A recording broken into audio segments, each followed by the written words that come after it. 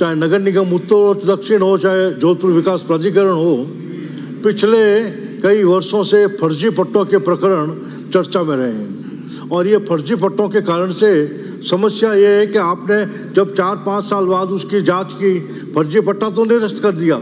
लेकिन आप ये देखिए, जिस व्यक्ति ने फर्जी पट्टा बनवाया, वो तो इमीडिएटली भूखंड बेच के रवान हो गया। उसके बाद जिन लोगों ने भी भूखंड खरीदा उनको ये मालूम नहीं है फर्जी है। चार, पाँच साल बाद उसकी जाँच करने के बाद ये फर्जी पट्टा आपने निरस्त कर दिया। निरस्त करते ही जिस गरीब व्यक्ति ने पैसा जोड़ जोड़ के एक एक पैसा जोड़ के वो भूखंड खरीदा, उसके ऊपर आपदा आई। उसका सपना चूर चोर चोर चोर हो गया। क्योंकि उसको मालूम नहीं था कि ये फर्जी पट्टा है।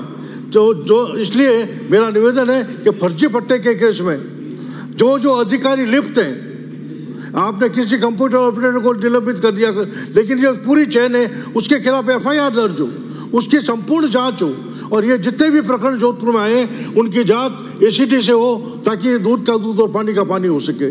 और दूसरा सिस्टम का भी फॉल्ट है।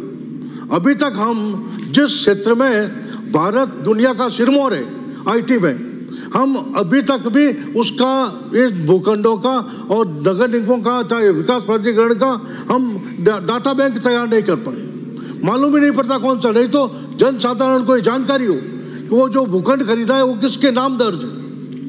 अभी तक मेरा निवेदन है, माननीय मंत्री महोदय से भी, कि जितने भी स्वायत्त शासन विभाग के अंतर्गत नगर निगम है नगर पालिका है, चाहे जेडीए है, इन सभी का आईटी से कनेक्शन हो और एक बड़ी कंपनी को कॉन्टेक्ट देके एक समयबद्ध रूप से इस जो जो भी डाटा बैंक है उसको, ताकि जन साधारण को ये मालूम पड़ सके, मैं जो भूखंड खरीदने जा रहा हूँ, वो किसके नाम से है, क्या उसकी स्थिति है, और इसके संबंध में मैं निवेदन करूँगा, रिको की जो वेबसाइट है, एकदम वर्सेटाइल वेबसाइट है उसको आधार मानकर अगर रिको पूरे राजस्थान का डाटा बैंक क्रिएट कर सकता है तो जोधपुर नगर निगम है चाहे जोधपुर विकास प्राधिकरण है विभिन्न नगरों के निगम भी उसी आधार पर एक वेबसाइट में सब इंफॉर्मेशन अवेलेबल हो। और ये सब फर्जी फर्जी पट्टे चाहे अवैध कब्जे ये इसी कारण से हो रहे हैं कि भूमि का रिकॉर्ड नहीं है और आम जनता की उस तक रीच नहीं है।